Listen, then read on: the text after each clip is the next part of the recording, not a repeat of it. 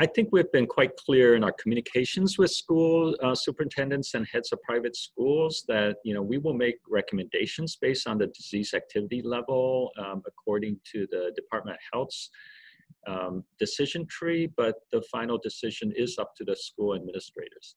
I do have the authority that if something really goes sideways, that we can uh, apply a health order on the school. Uh, I, I don't expect to do that. I mean, I think all the schools know what they're doing and they all seem to be doing a good job following things. But for example, if we had a huge outbreak at a school, um, you know, I do have the authority to ask them to close. Um, but in general, I think all the superintendents and heads of school know that's not an approach I like to take. I get emails that say, you know, you're not sensitive to the educational and behavioral and emotional needs of uh, my kids, you know, they're going to be harmed for the rest of their life, right? And then I get emails that say, thank you so much for keeping the schools in remote learning because I'm petrified, you know, and I'm looking at the numbers in the county and this is the right thing to do.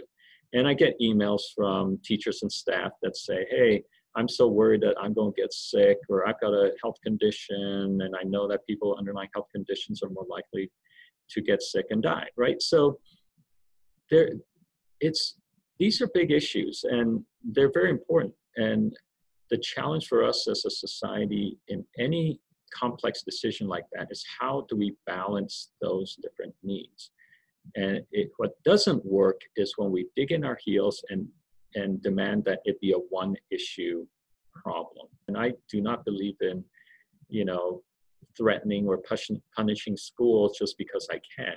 You know, that just doesn't go anywhere. You know, think back to the spring. Remember, Tacoma Public Schools did have cases in their schools. We worked with Superintendent Santorno and Josh Garcia. We did close some schools, but I did not do any health orders okay? We told them what we recommended, what Department of Health was recommending. They worked with us on it, you know. We got we got it taken care of. Okay, that's how we prefer to work. We are not into wagging our fingers, scolding people. Um, you know, it, it because it's not particularly effective and it does not build good relationships.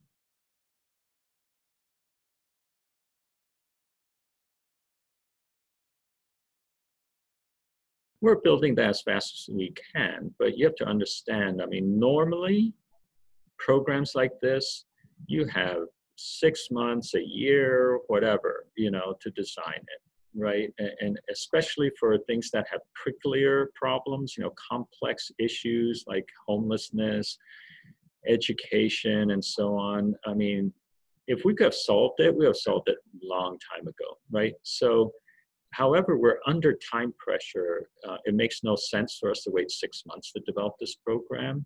So, you know, what we needed to know was that we could actually deliver on it. And if we didn't have the money to do it, there's no way we're going to deliver on it.